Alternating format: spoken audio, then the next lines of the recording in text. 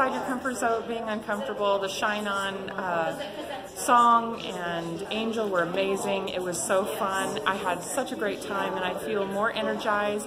And I'm going to at least try to smile once at one red light because I believe it will scare other people. Thank you so much. And uh, you would enjoy having Angel at your conference or uh, education seminars.